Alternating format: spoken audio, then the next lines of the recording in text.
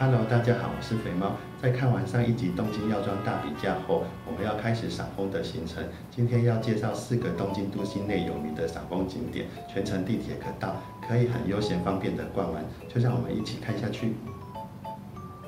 我们今天的行程如下：先由品川坐山手线到涩谷转车，再由涩谷转东京 Metro 半长门线到半长门。半长门站附近有两个红叶名所。靖国神社与北之丸公园观赏重点为靖国神社的黄金银杏与北之丸公园的皇家枫叶。再由九段下搭 Metro 到四之谷，转 Metro 南北线到居入，六亿元就在居入车站的旁边，目标为正午才看得到的血之枫叶。再回去搭 Metro 南北线到饭田桥，步行到小石川后乐园，有独特的庭园造景可欣赏。推荐的景点彼此距离不远，全程地铁可到，是适合带小孩与长辈的悠闲行程哦。出发前要先 check 当天的红叶状况。我试用过很多网页后，建议使用 Weather News 的红叶情报网，网址如下。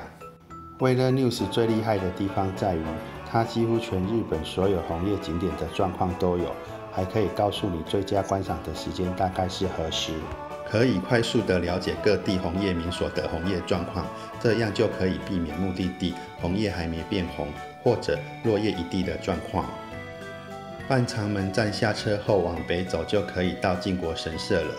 靖国神社的黄叶主要是在第一鸟居与第二鸟居之间。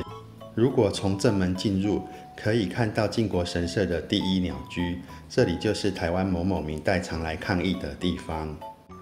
过了大鸟居，就是靖国神社的外园。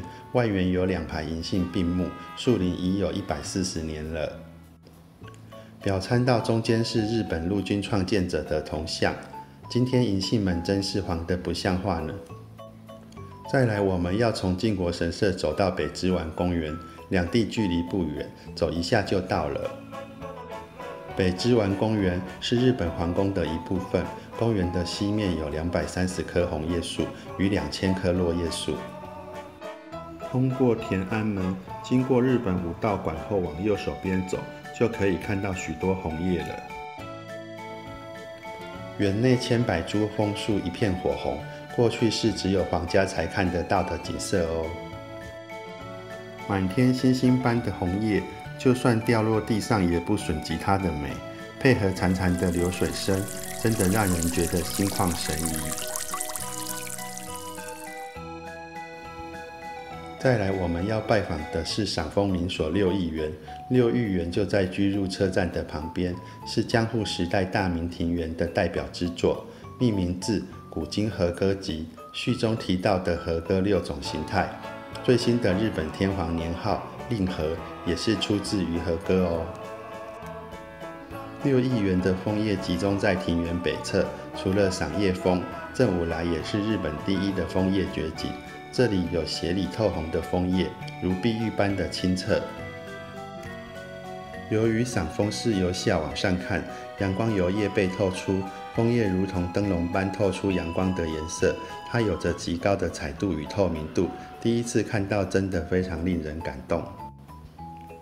中央泉池有很多人驻足摄影，只为将枫树与湖面的倒影记录下来。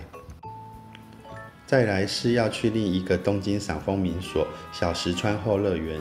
小石川后乐园在饭田桥车站北边，枫叶集中在红叶林与通天桥附近，枫叶映着池水也很美哦。